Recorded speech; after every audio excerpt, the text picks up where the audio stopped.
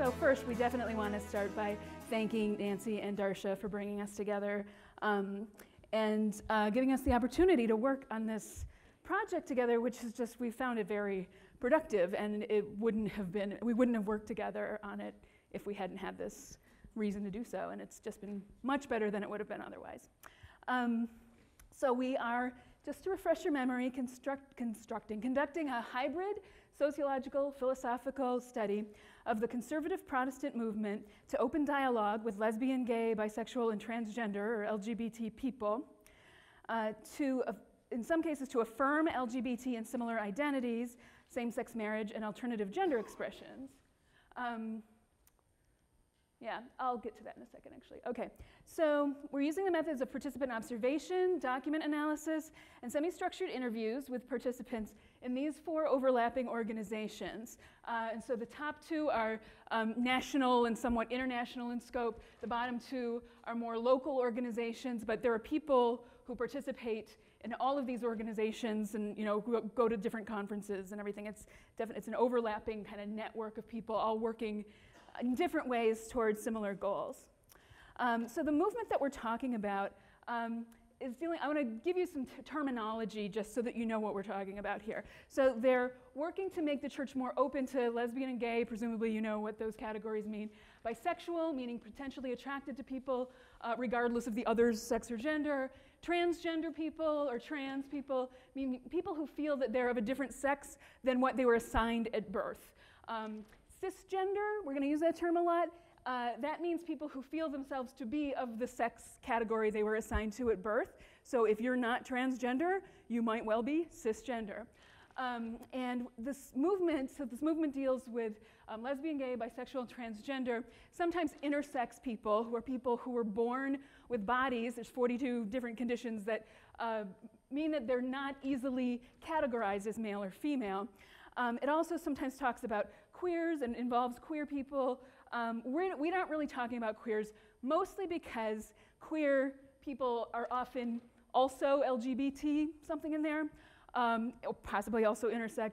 Uh, and because the term has so many different meanings, it's just, uh, it's just too fraught to, to deal with for right now. Um, it also includes sometimes people who identify as asexual, uh, and people who sometimes, uh, sometimes people who identify as Native American Two-Spirit people. Uh, and so sometimes it's abbreviated LGBTQIA2S plus uh, to indicate that they're talking about anyone who challenges uh, complementarian or binary, binary, ideologies of gender and sexuality uh, just by existing. All right. So this is just an abbreviation for all these categories. They're often invoked together, but and it's often invoked like LGBT, like of course that's what we're talking about. Um, but people, people often forget what those, word, those letters are supposed to stand for. And so uh, we don't always use the same string of letters because we're not actually always talking about all of those categories of people. All right, so uh, in light of the conversation of um, Blaine and Brad's paper earlier, I just want to make clear so we're talking about a specific situation, a specific context of people. Um, and so we're talking about Christian conceptions of virtue, and we know that not everybody is interested in Christian conceptions of virtue.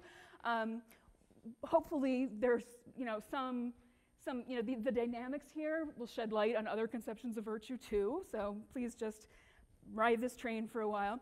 Um, we're talking about conservative Christians, mostly in the U.S., but also Canada, the U.K., Australia, um, who express similar commitments to what counts as virtue. And this is people within this movement and the people that they're trying to challenge and change. Um, there's variation within this group and beyond in terms of how rationalist or charismatic they are. There's different sorts of uh, theologies based on uh, you know different racial groups and things like that. But you know they're generally committed to the similar to similar notions of virtue, similar tenets of Christianity, including um, you know following the practice and teachings of Jesus, um, and adhering to a certain uh, closeness to Scripture. Uh, they distinguish themselves from liberal Christians in that way. Um, so, we've been conceptualizing a particularly pervasive kind of spiritual violence that we've seen directed at LGBT Christians, and we call it sacramental shame, which um, in which people demand that they constantly display shame as a sign that they've not turned their backs on God. We've been investigating how the self is harmed by this sacramental shame, as well as how perpetrators and victims can both overcome these institutional abuses and acquire the motivation to cultivate such virtues. See all of that, see how it's all in there? Um, such as uh, virtues of compassion, humility, and Christian love that can serve as counterforces to this form of spiritual violence. So we began our collaboration with three central research questions. Question one was how does sacramental shame erect barriers to virtue development for both its victims and those who actively dispense it? Question two was what enables LGBT church members to overcome the spiritual violence of sacramental shame, to experience God as loving rather than hostile, and to be able to engage in compassionate service to others? And question three was what motivates non LGBT Christians to stop this sacramental shaming and to move toward authentic Christian love. Now, the project has actually developed into three main themes. We're focusing on shame, gender, and justice, uh, but we'll spend most of our time today focusing our thoughts on um, shame and virtue, since that's what we've been working on for our contribution to the special issue. So, first, we're briefly going to um, well, no, we're not. Okay, so we've been conducting interviews and participant observation, and attending fieldwork events together has actually enriched the observations and the theorization that we've been working on. Um, we predicted that we would have approximately 100 interviews completed by May 31st. We have 85, along with about 450 combined hours of participant observation. For the most part, we've begun to hear the same themes from people, so we know that we're about done with interviews with white, gay men, lesbians, and bisexuals, as well as heterosexual cisgender, uh, again, you know, not transgender, um, allies. So now we're focusing on collecting additional interviews with particular groups that we need to hear more from, which includes people of color and side B celibate uh, lesbians and gay men. And we'll, and possibly if we can find a few more willing participants, a few more trans people. So because of the racist dynamics of sexual shame just in America in general, uh, and actually I think you could say in the world, right? Um, we hired a consultant who's black and queer to conduct some interviews and focus groups, and she's been proceeding with that more slowly than projected, but she's getting really great interview material for us. So we're going to attend hopefully two more national conferences, just because each one is so different, um, but we're done with our biweekly observations. So today we want to talk about one part of our research that's exploring whether and how feeling shame can motivate people to virtue. Now, shame is not in itself a moral virtue, but some philosophers have argued that feeling ashamed for one's moral flaws can motivate people to become more virtuous and to restore damaged relationships. However, the empirical literature from psychology and sociology suggests that shame often yields psychologically unhealthy responses for those who feel it, including rage or depression, and often seems to motivate morally worse action than whatever occasioned the initial shame experience, including aggression and violence. Excuse me one moment.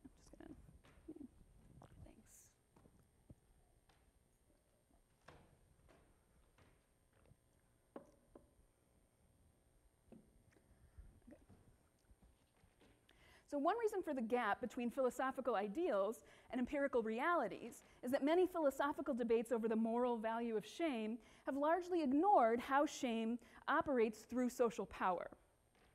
Our study calls attention to the motivational aspects of shame, pride, and humility within relations of social power. So today we're going to compare the shame experiences of LGBT conservative Christians and the heterosexual cisgender Christians who once shamed them but are now allies. These divergent shame experiences lead us to argue that a person's liability to both virtuous pride and virtuous humility, realistic assessments of their basic worth and value and their gifts as well as their flaws, affects the extent to which they're liable to experience shame as a catalyst for moral improvement and restoring damaged relationships. So we draw from a number of other scholars who have defined shame as fear that a perceived flaw in the self will cause a break in the social bond. And that includes, you know, we want to be more specific actually about what that social bond is. So we're including both a sense of belonging in the community, but also the more specific sense of um, Martin Buber's concept of an I thou relationship. So Buber distinguishes between an intimate, ego free, I thou relationship um, from a more superficial, ego driven I it experience. Relationship, in Buber's sense, is not just any routine interaction, but a feeling of boundless connection and profound equality in which the self is open to being touched, in his words, at the core by the other, to growing and changing as a result of the connection between them. Such growth cannot be a conscious goal because, as Buber points out, any purpose, any means end calculation is an obstacle to relationship. We'll argue that some forms of shame reflect a disruption in interpersonal connection at this level.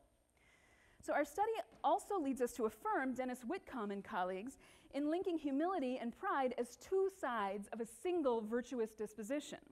However, unlike most philosophical definitions of these emotions, including theirs, we find that both humility and proper pride are not merely emotions of self assessment, but are grounded in concern to protect relationship. We call this single disposition humility pride, to foreground that it enables a virtuous, realistic appraisal of both one's strengths and one's limitations, rooted in concern to protect relationship. We argue that humility pride is the basis for virtuous shame experiences. So, a little more about shame. So there's no single agreed upon definition of shame, but drawing from philosophers, psychologists, and sociologists, we define it as an inwardly directed emotion with three central aspects painful exposure as a defective self, a fear of a break in the social bond, as we've discussed, who will, um, who will leave or you know, break the bond because of that flaw, and a sense of powerlessness over one's identity, which is constituted by internalizing the perceptions of significant others. So we have a social conception of what it means to be a human being. Theorists often initially define shame by distinguishing it from guilt, which is action oriented and more readily fixable. I did this thing, I'm sorry, can, how can I make it better? By contrast, shame is person based and says, I am bad in all or some respects. But the pain of shame is not just the pain of realizing that one is flawed. It is the pain of feeling exposed as flawed in ways that can make important others question one's worthiness for relationship and belonging. So, shame is ambivalent. It reflects a desire to hide, turn away, and withdraw, and a longing to be recognized, accepted, and loved. As Eve Sedgwick put it, blazons of shame, the fallen face with eyes downward and head averted, are semaphores of trouble and at the same time of a desire to reconstitute the interpersonal bridge. Religious historian Virginia Burrus writes that shame is the affect that checks narcissism and monitors interpersonal relatedness and communal commitments. Shame is supposed to protect the social bond. But the affect of shame is awful. In their phenomenological psychological study of shame and guilt experiences, Gunnarsson and I'm sorry, I don't know how to pronounce Gunnarsson's colleague's Swedish looking name, um, Soberg, maybe? Um, no one knows? Oh, I should have just wung it then, huh? Uh, report that their re- respondents describe shame as being stuck in a frozen now, unable to focus or be present to what's happening around them, having racing or obsessive thoughts, and feeling desperate to hide away or even to disappear into the ground. In this light, it's not surprising that people often refuse to acknowledge their shame. Psychologist Michael Lewis reports that bypassed shame is common, and the two most common emotional substitutions are anger, which often becomes rage, and sadness, that often turns into debilitating depression. Shame can be experienced in different ways. It may be totalizing, here's where we get to the real high tech part, um, in that a person feels like their whole self is defective, or a person may feel ashamed only of some aspect of the self. Even when a person is in the grip of feeling this partial sort of shame, the flawed aspect can feel totalizing of who they are and make them feel temporarily powerless over their identity, frozen in the shame gaze and unable to act. Shame experiences also vary in their temporal dimensions. People can experience shame either in isolated episodes that come on suddenly or in a chronic state of being. A person is liable to feel shame episodically when a loss of rank or status in the eyes of others is not generally expected, and so the shame is felt as a sudden exposure that lowers one's standing. By contrast, when shame is chronic, the elements of painful exposure, fear of rejection, and powerlessness are all present, but rather than being experienced as sudden, unexpected intrusions into an otherwise undisturbed consciousness, shame can get instilled as a disposition and become the way a person feels emotionally at home in the world. For those with a disposition of shame, acute shame feelings just confirm that sense that they were unworthy all along. Our data show that while episodic shame may have moral benefits under certain conditions, when shame becomes a person's habitual way of navigating the world, it does tremendous violence to the self and, we argue, erects enormous obstacles to virtue development. The situations that we're talking about can both be totalizing and chronic. So we might depict it like this in our fancy diagramming technology, but so in that lower, uh, lower left quadrant there, but if you're living there, it feels like this in the, the big purple dot of shame. Right? Now, many people in these faith communities believe that God's plan for creation includes two complementary sexes, and that this complementarity is not just a general description, but a commandment, unspoken because it's so obvious, preceding the Ten Commandments in time and importance. Conventional conservative Protestants hold and generate what Pierre Bourdieu called symbolic power, by repeating this interpretation of Scripture and positing same sex attraction and variant experiences of gender to be sinful violations of it that separate a person from God in the community or even indicate a rebellion against God. They often repeat statements like homosexuals have a rebellious spirit or homosexuals have turned their backs on God heterosexual cisgender conservative Christians tend to assume that LGBT people should feel shame in order to start on the path to change because they believe that LGBT identities and the practices that they associate with them, rightly or wrongly, are sinful. And they know from experience that shame for their sins, acts or thought that, thoughts that violate their relationships with God or other people, cause them to atone and to become better people. But shame does not help fix sexual orientation and gender variance the way it works for sins like theft or lying. Rather than helping to restore relationships, shame in these cases targets people's very capacity to form relationships. Because minority sexual orientations and experiences of gender are wholly unaffected by acts of will and do not do harm the way that sins do, Shame in these cases becomes perpetual, but something like a sacrament, a tangible sign to others that they desire God's presence in their lives and have not, in fact, rebelled against God. So, sacramental shame takes the fear of the break in relationship and perversely makes that fear a requirement for relationship. It attacks the capacity to relate. It is often dispensed through affection and care, we talked last year about um, those parents, the Robertsons, whose child had become a, um, an addict after six years of trying, them constantly trying to fix him. Um, and then it says that that's, that's the way God made it, to, you know, made it all to be. This is what God wants for your life. So the, the relative Im- immutability of sexual orientation or gender variance thus makes shame not an episodic disruption, but a chronic condition that perpetually disrupts a person's ability to realistically uh, address or assess their strengths and weaknesses and to love and serve others. In fact, many of these churches do not allow LGBT people, even those committed to celibacy, to serve the church as fully as people they believe to be heterosexual and cisgender. They constantly remind the former that their capacities to love and know God in themselves are broken and, in fact, a danger to the people they care about. Now, many in this movement see shame's effects as toxic, poisoning not just relationships, but individuals' mental and even physical health.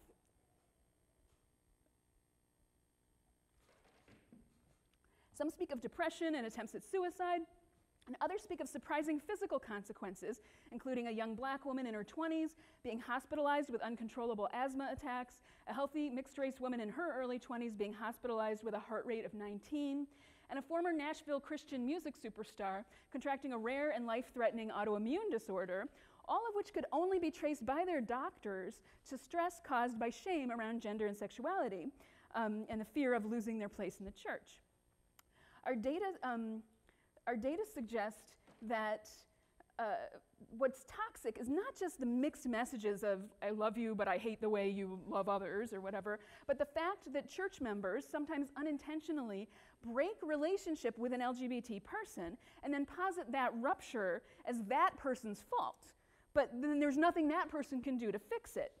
LGBT respondents say things like, I lost about 80% of my friends when I stopped being celibate, or I was thrown out of my home when I came out to my parents, and even allies lose relationships.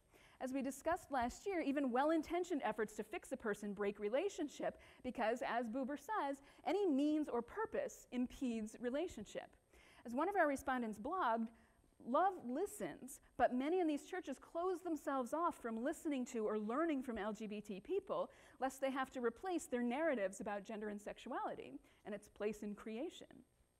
For LGBT people who've internalized these conservative teachings and who spend years trying to rid themselves of their attractions or suppress their experience of gender, the absence of change creates the feeling that no matter how desperately they love God, God must, love, but must not love them, and in fact, that God's rejection of them is their fault. For many of these respondents, shame is instilled as a disposition. So, in, in a blog and in person, Kevin Garcia has eloquently described how chronic, sacramentalized shame about his same sex attractions nearly killed him, both spiritually and literally. He says, these unwanted homosexual attractions were something I viewed as a cancer to be cured, a tumor on my heart to be cut out. I was terrified to share my torment with many people because I was ashamed. I was told that if I just prayed the right prayers, if I fasted, if I did the heart work, that maybe, hopefully, God would grant me the grace to overcome these temptations. But nothing ever worked. Not therapy, not prayer, not getting demons cast out of me, not fasting, not group confessions, not holy oil, nothing. For 10 years, I was convinced it was something wrong with me. It had to be me. I wasn't ever going to be good enough for God because I wasn't strong enough to overcome this trial. What was the fruit of that labor? Literal death. I wanted to kill myself and nearly did. I tried to kill myself because I saw my heart is incontrovertibly damaged. I believed my soul was marred beyond any hope of healing. LGBT respondent after respondent recounts this kind of experience of constant and seemingly unending shame and coming to believe that their capacity for relationship was so dangerous that they could not indulge it even in friendships, leading to lives cut off from intimacy and bonding of any kind. A 25 year old mixed race respondent we call Emily spoke of having realized she had same sex attractions right around the same time in high school that she became Christian. Having appreciated the redemptive possibility of the ex gay movement at the time, the Christian movement that um, originally promised to help people get rid of their uh, homosexuality, but by the time she was in it, they just said, no, focus on celibacy, put your identity in God. Um, she appreciated that, right? But she ascribed to what they considered her brokenness as being a gift to your community, a service to other people in your life who have kids, and you can kind of uniquely fit this niche of a helper, a social helper. She continued, because to me, to hate this part of myself so much that I spent 80% of my energy every single day attempting to eradicate it, it felt holy. It felt like that was what was making me righteous. And even though I really believed all of the Christian messages that, I'd been, that had been imparted to me about faith coming to us in the form of a gift, I can specifically remember instances of crying out to God, even if you don't take this away from me, this suffering is more than okay, because I believe you love me that much. I would do anything for this cause. And if the difficulty of my life testifies to the extent of which your love has covered the brokenness of all of humanity, then I will do this for the rest of my life. And unfortunately, that's sort of masochistic, and over time, I think, really begins to impact the way a person doesn't just relate to themselves, but relates to their friends, relates to their family members, and even relates to God. And I found myself unconsciously shutting down connection. I am an extrovert. I do love people, and I can listen to stories and laugh and have a good time. And so it was bizarre to my friends that inside I was crumbling in every moment because I was so fervently policing myself and making sure that I did not let myself go too far emotionally with someone, lest I start to have this idea that I would want to share life with them and experience intimacy at any level with them. In the grip of chronic shame, Emily lost a sense of her own status as a subject, as someone capable and worthy of I thou connection with others, with anyone. Right, now, Theresa, will take the rest.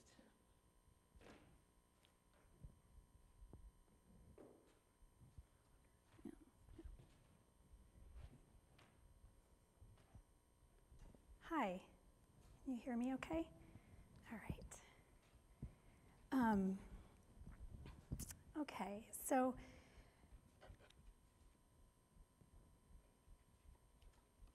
that was um, some of our, our data from our LGBT respondents. And now we're going to talk a little bit about um, how this intersects with some of the philosophical literature on shame as a possible motivation to, to virtue. Um, and I'm new to this, so this is going to be interesting. Okay, it's the red dot. Yeah? Did I push one? No. What do I push? The arrow. Right, that would make sense. Okay. Um, so many LGBT conservative church members that we've talked to experience dispositional shame that they, um, and so many that we haven't talked to, that the Gay Christian Network holds breakout sessions on shame resilience. And I attended one as a participant observer. And in the course of small group conversation, I asked people whether they thought there could be such a thing as healthy shame, uh, whether it might ever be appropriate in the face of serious wrongdoing, for example, to feel ashamed for that. And the question was met with a unanimous and resounding no. um, and really repeatedly, no, no, no. People had been so harmed by shame that they really saw no value in it. Um, guilt, they said, yeah, guilt maybe, but not shame.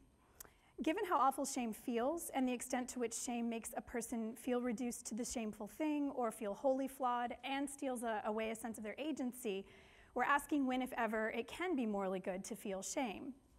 Several philosophers, ancient and contemporary, argue that feeling shame can motivate people to virtue or at least curb tendencies toward vice. Owen Flanagan examines the addict's shame as an appropriate moral response to the normative failures of addiction. Alexis Shotwell discusses white shame's potential to motivate anti racist action. And Jennifer Manion argues that shame is a better candidate than guilt for inducing positive moral transformation for two reasons. Both because shame targets a flawed self and not just a person's actions, and because shame comes on suddenly and unexpectedly, halting agency and jolting the individual into self doubt about her presumed standing as a good person. Um, but like many philosophers who defend moral shame, Manion here is speaking in general terms about its moral potential, but her analysis actually only describes one kind of shame experience um, episodic shame that is felt about parts of the moral self by people who already feel worthy and whose moral standing in the community is not routinely threatened.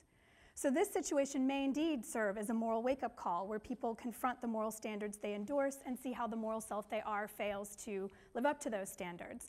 But as we've learned from our LGBT respondents and the empirical data we've read on, on shame, as that attests, um, very often shame leads to morally worse action, to self harm, and sometimes even to self destruction. So, this has led some philosophers to defend moral shame more cautiously and more indirectly by considering what's wrong with shamelessness. The shameless person is invulnerable to the shaming criticisms of others. And in a 2015 article, Krista Thomason takes this approach. And she argues, she writes, quote, being shameless um, is bad because it signals a person's failure to recognize that their own point of view is not the only point of view that matters in determining their identity and how well they are doing, morally speaking. So Thomason in this article does something interesting. She argues, recognizing that shame can be really, really bad, she argues and defends um, a liability to feel shame. And she thinks a liability to feel shame is really central to morality because it's connected to humility, and in particular to the recognition that other people's perspectives of who we are matter to us. Um, and so she, she makes this comparison to the liability to grief. And she says, look, people respond to grief in all kinds of destructive ways, but the liability to feel grief, in fact, says something important about our ability to open ourselves to love and experience the pain of deep loss. And so she's doing something similar with the liability to shame. Now, Thomason doesn't define humility, and we're still developing our understanding of it. We're following those who situate humility as a mean between vicious pride and the vices of deficiency. Thank you, Nancy, for that term including self abasement, self abnegation, and servility. However, we want to emphasize that humility is grounded in a desire to preserve relationship. Humility enables realistic appraisal of our limitations and acceptance of our vulnerability to others, and we think it motivates us to prioritize relationship. Thomason notices how shamelessness blocks humility and in doing so impedes moral growth and relationship because humility opens us to information from other people about moral limitations that we might not see in ourselves. And so, to the extent that we grant other people that kind of authority over ourselves, we make space to acknowledge that we might be wrong about our identity and our standing, that we might not be the person we think we are um, or want to be. And we recognize and acknowledge that we're not the sole determiners of our moral identity. Our LGBT respondents' shame experiences show, however, that shamelessness is not the only vicious alternative to morally good shame that's rooted in humility.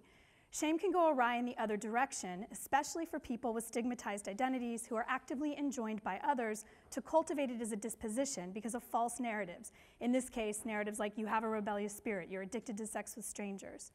People who have shame as a disposition are the opposite of shameless.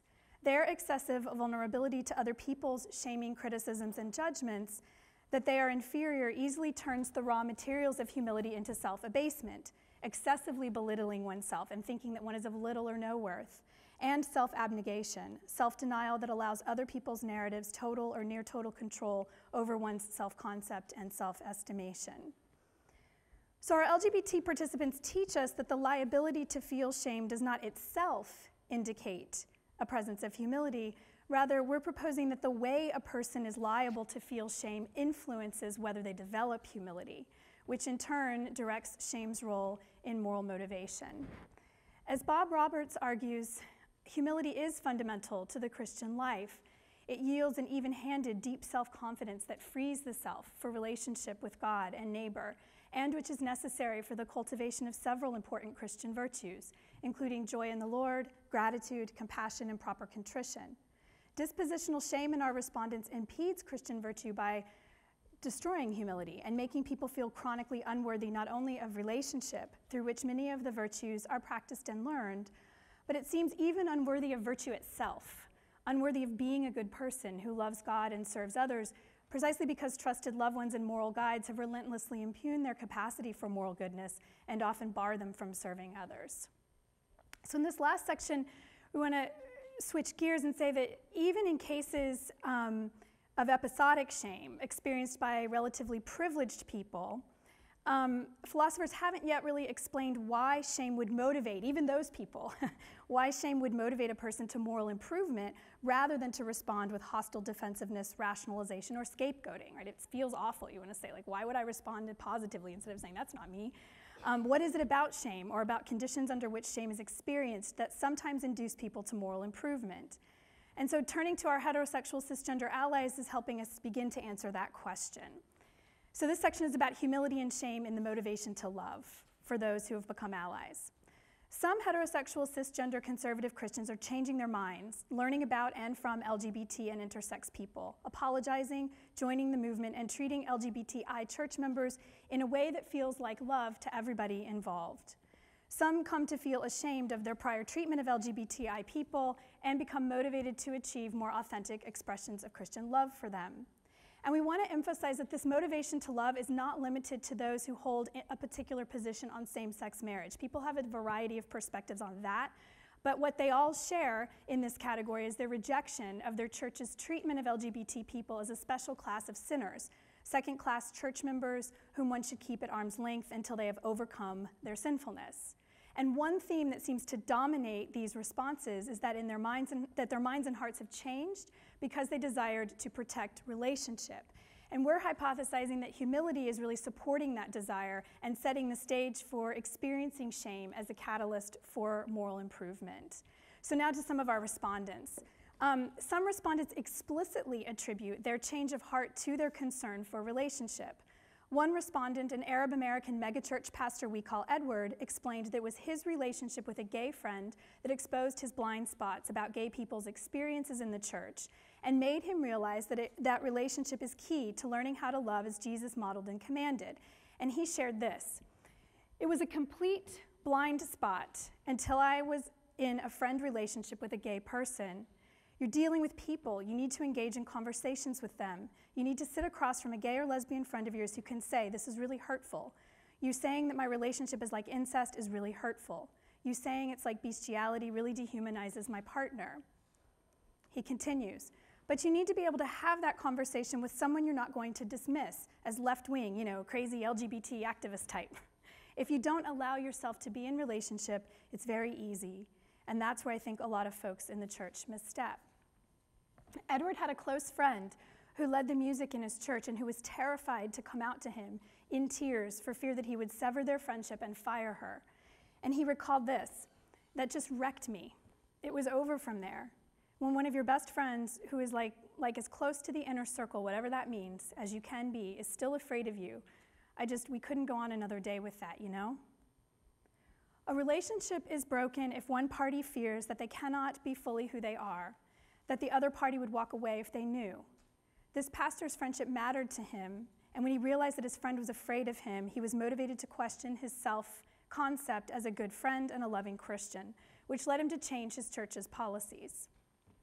Similarly, when the eventual founder of the Reformation Project, Matthew Vines, first told his father Monty that he was gay and wanted to know if he could pursue a same sex relationship and still be Christian, Monty's desire to preserve their relationship made him not want to be the one to, who denied his son that path. So, describing his approach a few years later on a panel of parents at, of LGBT people at a Reformation Project conference, we think he clearly showed this connection between humility and desire to preserve relationship. And this is what he said on that panel. I had so much of myself, I had invested so much of myself into creating a good relationship with Matthew. And I was hoping to enjoy this good relationship for the rest of my life. And I was afraid that if I failed to affirm him in his desire for a same sex relationship and a same sex life, that could undermine our relationship. He continues I needed to be able to speak from a position of authority, meaning that I knew what I was talking about, and I knew I really didn't. Not that I had any question that my position was right. Of course it was right. So I committed to Matthew. So I committed to Matthew that I would undertake a Bible study with him. And in part I did that because I didn't want to be the one telling him that this was this choice he was making was wrong. And I thought if we studied the Bible together, he would see in God's own words that this is not what God approves of, and he was going to have to deal with that himself. And to my great surprise, I found myself changing my understanding about this as we went through the Bible passages. Monty remarked that prior to this event that he had found the whole question distasteful. His interpretation was now shaped um, not by disgust, but by a relationship of respect and love that he, that he didn't want ruined. And again and again, straight cisgender people are coming to this movement from a place of humility. Maybe I don't really know what I'm talking about that is evoked by their desire to preserve relationship with LGBT and intersex people, with ministry members, children, siblings, hiking buddies, neighbors. A desire to preserve those relationships seems to cultivate the vulnerability necessary to learn from another, even about deeply held and communally enforced truths regarding God's order and their own privileged place in it. We think humility sets the stage for a person to direct shame at parts of the self that are flawed and have undermined relationship, and to respond to that shame in a morally virtuous way.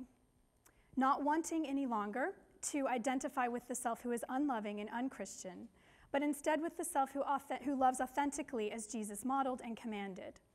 Edward, that mega church pastor we, we mentioned before, shared this. Our approach, specifically with the LGBT community, is just not working. Our theology and our reality aren't matching, yet we're trying so hard on a broad scale in the Christian community to change our reality as opposed to re examining our theology. And that's just not working. It's hurting people, it's creating a lot of damage. This stance of even just considering that one might be wrong, being willing to listen to other people's perspectives and allow what they share to affect you, we think issues from a humble disposition. But the difference between this group of respondents, right, and our LGBT respondents is that these respondents haven't been chronically shamed, at least in this area, and they're not generally vulnerable in this context to those vices of deficiency, to self abasement and self abnegation that collapse the self into another's degrading narrative. So we're proposing that our data affirm this link that some philosophers are making between feeling shame and humility, but also show that feeling shame does not itself indicate humility, because different social positioning within social hierarchies makes people experience that liability to feel shame in different ways. Um, and we were going to conclude with this um, other hypothesis that's emerging from this data, but am I out of time? Do I have time to mention it? More or less out of time. Okay.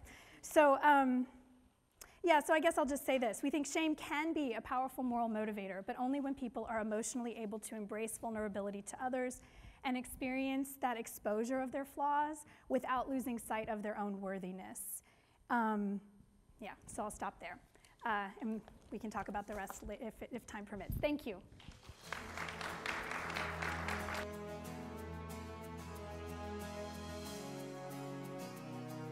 I'm wondering if you asked any questions that might want to explore other links between ability to have, for lack of a better word, productive shame and pre or meta ethical commitments or theological commitments. So, for example, does your, the theology or meta ethical commitments you have about human nature, ability to change human nature, ability or sort of predestination theologies in the sense of sort of uh, whether those background factors, if you asked about people's respondents, uh, the respondents' positions on those to see if there are connections between that and, and the role of shame.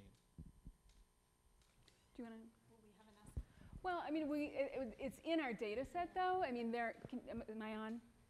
Yeah, Okay. Um, you know, we, we have talked to people who, you know, from a, a variety of different church backgrounds, right? So, um, you know, there are people from a more Calvinist or neo-Calvinist background, as well as people from, uh, you know, more charismatic backgrounds, more like Baptist, you know. And so, you know, the people from a more Calvinist background might have more of a sense of like, you're doomed, that's it, right? I mean, Fred Phelps comes from that kind of background, has a neo-Calvinist bent that's just like, hey, I'm, I'm, I'm doing you a favor here by letting you know God hates you, you know, like this is, I'm helping. Um, whereas, but, but, you know, the Vines family is Presbyterian, right? I mean, they're coming from a Calvinist tradition. Um, and they're, you know, the, the, there's this wide range um, in terms of, of all of that, in terms of theologies, in terms of, um, you know, whether they focus more on, you know, like, you know, the, on, you know, scrutinizing the text as closely as possible, or you know, like you know, experiencing the Holy Spirit. Um, and there's not like you know, it's interesting. You might think that um, the more charismatic, Holy Spirit-oriented people would um, be more invested in uh, like you can change, God can change you. But you know, Kevin Garcia comes from that tradition, right? He tried. You know, he, he invested 10 years in that, and it didn't work. And there are lots of people in this movement who come from that tradition and are like, yeah, it's just not working. Like the Holy Spirit does not have a problem with your orientation. It's the church that has that problem. And so like they they understand that the Holy Spirit can like work to transform your soul in a, in a bazillion different ways, but this isn't one of those ways. Does that help or?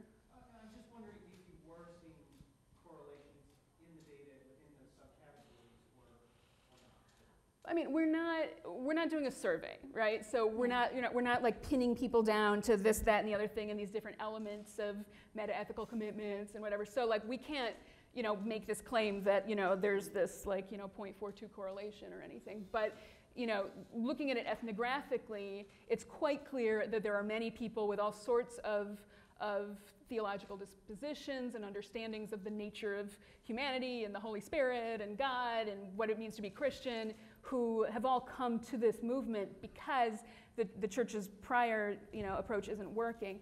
And, you know, and I think that, you know, it's, you know, as many differences as there are, you know, part of what's interesting about this is that as many differences as there are among conservative Christians, there's, um, you know, the, the, the understanding of sexuality is very much American. You know, like they tend to have the similar, you know, narrative of where this came from and what it's about. Um, you know, and for some of them, it's you know possession by a demon, and for others, it's a you know like a, a, rebe- a conscious rebellion or whatever. But they, you know, like they're they're getting their knowledge from mass media, you know, and so they and they're and from each other, you know, and so in a lot of ways, there's a um, there are common approaches. Like a lot of different churches sent people to the ex-gay movement, which is one one move one or set of organizations, you know, that um, they all came to it from different angles because you know their theologies about sexuality are not all that distinct when it comes to questions like this i think michael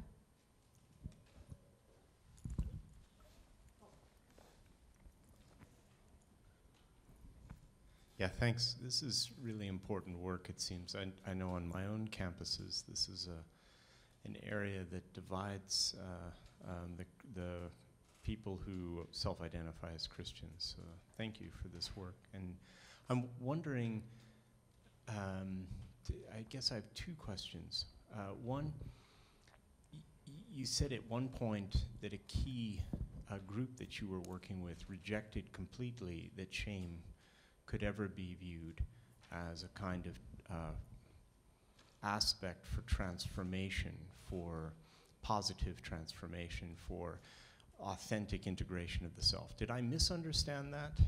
Um, I'm sorry, can you, I'm not sure what part you're referring to, so could you You- elaborate? The shame, then it's the GCN, the shame, like, sh- Exactly. can shame Oh, ever yeah, be yeah, helpful? yeah, No that- way. Right, yes, at Right, that the help- no way response. Yeah, in that group, in that setting, it was just informal conversation as part of participant observation, and I was just sort of, So yeah. why would you, one question is, Yeah. why would you persist in wanting to continue with shame Yeah. as such? That's Yeah. my one question. Yeah. The other question is, Yeah. what, what is, and I, I really appreciate the notion of humility as preserving the, the social bond or the, Mhm. or the or the relationship but that can also have a hmm, you know if it's really all in the in for the sake of preserving certain relationships that can be destructive Yes. so what about the notion of guilt that someone has Mhm. transgressed where does guilt come Yeah. in why isn't that Thank a better you. construct than shame Yeah, it's a great question. And in fact, la- um, last year after the conference, when we were doing more reading on shame and starting to do more fieldwork together, we actually confronted that very question and wondered ourselves, like, maybe this is just a terrible emotion that is we have to endure and that we should strive to, you know, kind of steel ourselves against and resolve, but there's no good in it at all.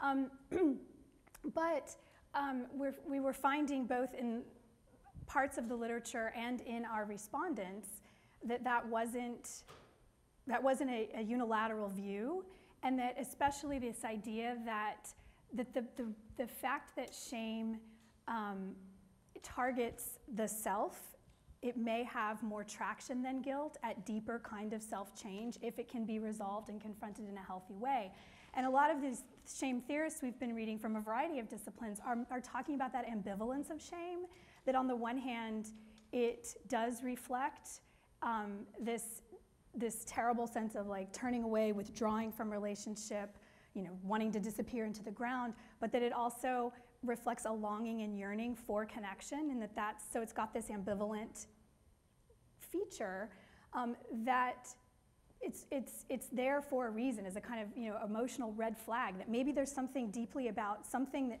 in me not just something i've done that's really threatening to relationships i care about.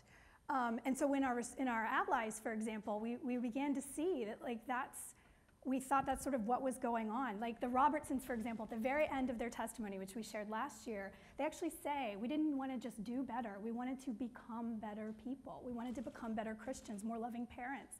We realized that Ryan showed us that we didn't just, you know, um, act poorly, that we in fact were not loving parents. That was their own words. We were abusive and we didn't even realize it. We were not faithful Christians and we didn't even realize it. So it's about shame's ability, I think, to really touch at you know, character, the self, something more than just transgression that's let us kind of hold on to that and, and want to work with it, both in the literature and in the data.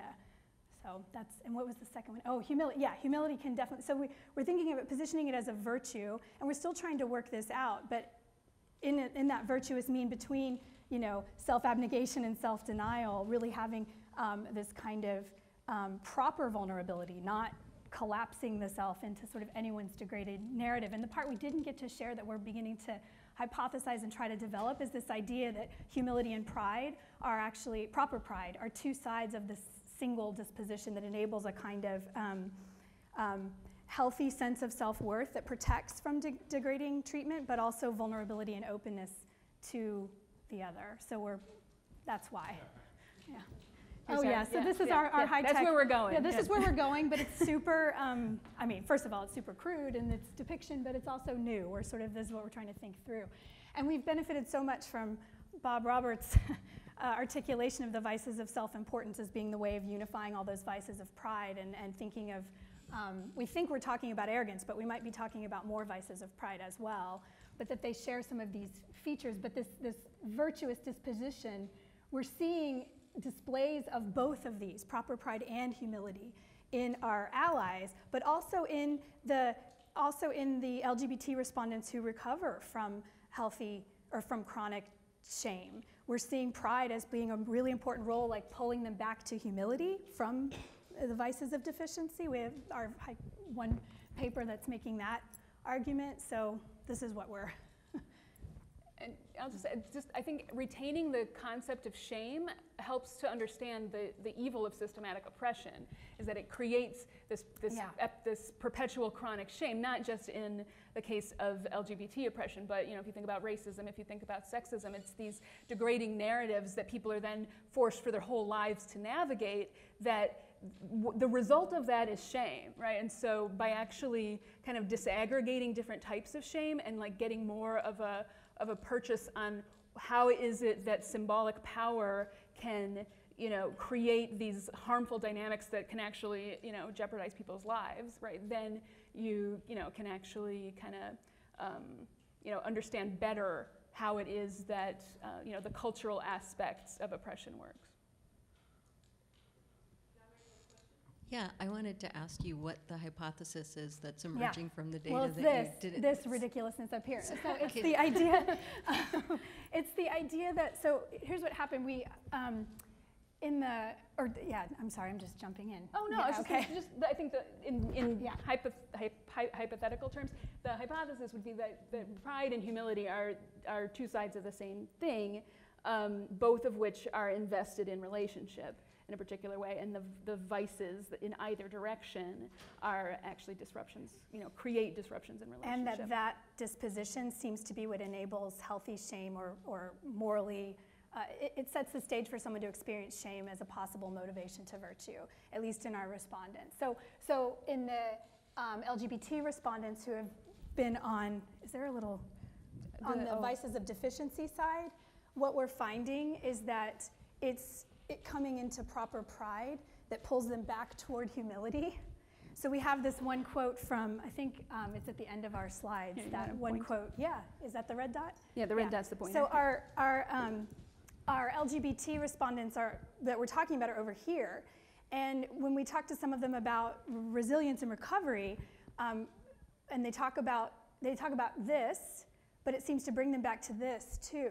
So we're seeing that like they're able to, um, this somehow, these two things are somehow happening together in their experiences. And then this one respondent that we were going to show um, talked about how that pulling back to, um, uh, yeah, yeah, here, um, enabled him to have a, a, a better relationship with shame.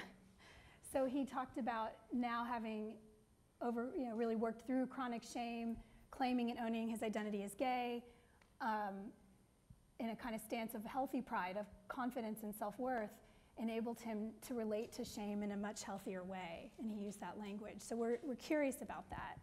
Um, so, I I would like to use my role as, as moderator and ask a question myself. yeah, And, and it's about the, um, the claim that you make about the healthy shame yeah, and the unhealthy shame. Uh, or, or, or, you know, I, I would say, I would call it deep shame, I guess, unhealthy shame. the dot, the purple dot of shame. Yeah, the, pur- the, the purple, yeah, Yeah. slash, black, heavy, all the heavy dark stuff. Mm-hmm. Um, uh, I think it, it could be possible for shame to be healthy or have a healthy component, but I'm not sure that shame, that intrinsic to shame, is Mhm. that which pulls people out of it. Mhm. So it seems to me that you can sort of be stuck in a kind of unhealthy shame, Mhm. but what pulls you out of it is some sort of desire to be other. And so I'm thinking in terms of addiction. So if you think Mhm. of a, a somebody who says, uh, "I'm an addict," I mean that's the sort of first step toward recovery is admitting that. And certainly there would be a, a sort of shame, it seemed to me, Mhm. that would come along with that admission. But then what is it that pulls you out of that toward the statement, I am a recovering addict Mhm. or a recovered addict? And it seems to Mhm. me that's not connected with shame, Mhm. but maybe with a desire to have relationships or to restore relationships, yeah. which is something that I don't immediately see as being intrinsic to shame.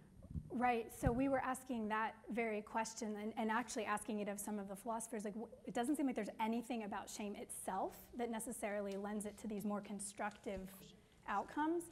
But then, in again, this I think it goes back to the previous question. If shame has this ambivalent character and it really does reflect also this yearning and this longing, then there may be something in that ambivalence. There's that that that sort of desire for relationship. So we're understanding shame as actually having that component. Um, now, toxic and maybe toxic and deep shame maybe your point is it destroys that or something. Yeah, I mean, that's what I don't see Yeah, as intrinsic yeah, to shame, is yeah. that, is that sort of light within, within shame that sort of brings you out of it. Yeah, Right, so, so I, I have trouble seeing that as being part of shame. yeah. But- But if you think about the difference between like shame and shamelessness, right? Like the wait, maybe I'm just not following, right? Like shame, like the like our respondents in a state of like this, you know, profound toxic shame want to be good enough for God, right? And it's yeah, like none of that, none of no- none of the shaming stuff works to to help in any way. It just makes it worse and worse and worse.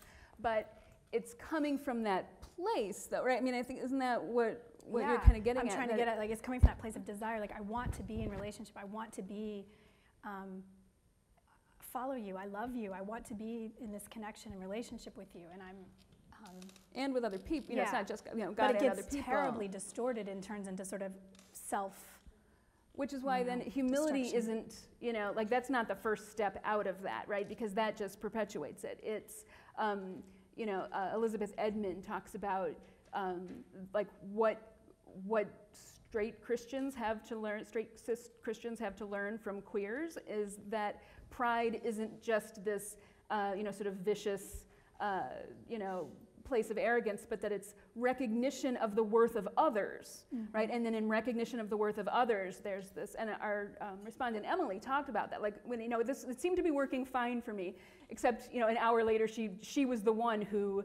Uh, you know, wasn't hospitalized with a heart rate of 19. That she hadn't even thought about that in connection with it. But um, you know, she said, you know, it seemed to be working for me. But then I realized that, you know, hearing from others that this celibate approach was was harmful to them and hurting them. That was what made me rethink the whole approach. You know, it was her concern and care for others that made her realize, like, maybe there's something wrong with this whole framework that I've adopted. So maybe that's part of it. Any, one la, oh, we have a couple, my goodness, I should know this. We have, we have Ross, Ryan, and Colin. You're not Colin, you're, you are. Always Well, go with your first guess. We're thinking of the themes of this, uh, of this group being the self. Is it possible that part, that where the light comes, where the motivation comes out of experience of shame is the sense of wanting to be one's best self? And if that's true, that's part of what makes the sacramental shame you describe so debilitating, because your best self is queer. And so you can't strive to be your best self. It's shame, shame can't be motivating in that context. But in other contexts, um, it is the, the desire to be your better self that shame reveals that you're not, but motivates you to become. Yeah, thank you for that. Do you want to comment or I? I can Um, start. Yeah, I Yeah, have yeah, yeah, we're going to say that. Yeah, yeah, but actually, it makes me think of um, some of our respondents who, um, in one conference, I remember just being, frankly, just moved to tears because, and I think it's consistent with what you're saying, and it's helpful to think of it in those terms. They came, what did it for them actually was their prayer life, their relationship with God. God was the only person. And it was in that moment where they heard God saying to them, um, I love you as who I made you to be. Please stop running from that. Please love me back. and, and it was so, it was that like, that's who I want to be. And, and they trusted something and enabled them to trust themselves enough to let that voice have authority in their prayer experience. But I think it's consistent with what you're saying, that striving to be. So thank you for that um, frame. hmm The question I have is, um, you, you mentioned that you have 85 something um, individuals, interviewees. So um, my question is, I'm kind of curious about the demographic detail information. That are those are what what are the ethnicity within the group Mhm. or any Mhm. pos- you know, possible cultural Mhm. comparison? Are they all Caucasian, or do you throw in any things that either Black American Mhm. or African American, Asian? Because I think they may have a different perspective in terms of the shame, or that's just my curiosity. Yeah. Um, so I, I can't give you the, the numbers, um, which I guess would be helpful. But um, so the movement itself is predominantly white. Interestingly, um, there's kind of a divide in the movement, um, particularly younger organizations are um, very self-consciously working to incorporate an intersectional analysis that understands that like you know sexuality means different things in different racial contexts in different gendered contexts Gen- gender means different things race means different things um, and so even many of the white gay privileged cisgender uh, men in, in some of these groups are um, working very consciously to give the stage to people of color, particularly trans people.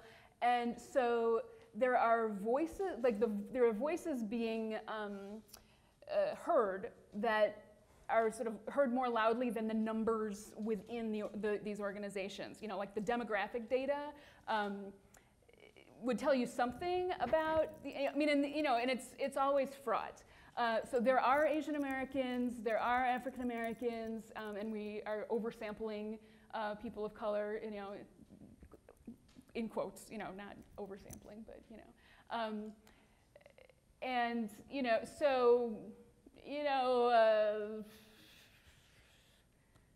maybe 15 African Americans, a couple Asian Americans, not a lot of Latinx people, I mean, because not a lot of Latinx people are involved in conservative Protestantism in the United States.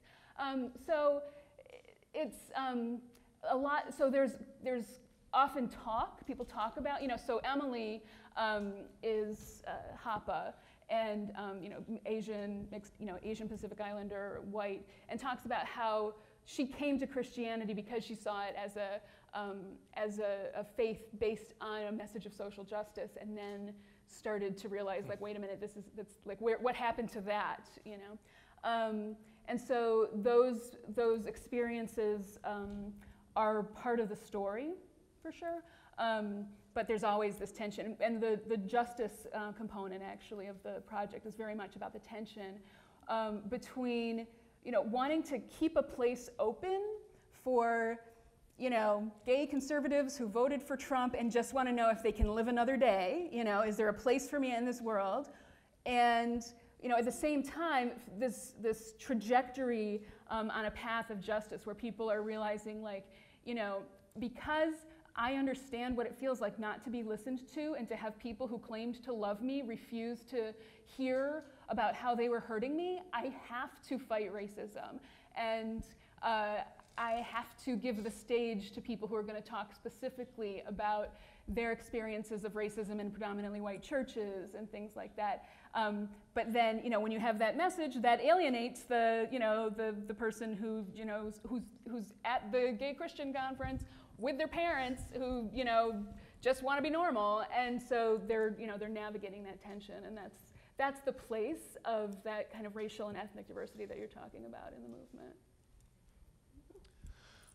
So this is something that occurred to me uh, in part because of a conversation that I had uh, at lunch with Will about guilt.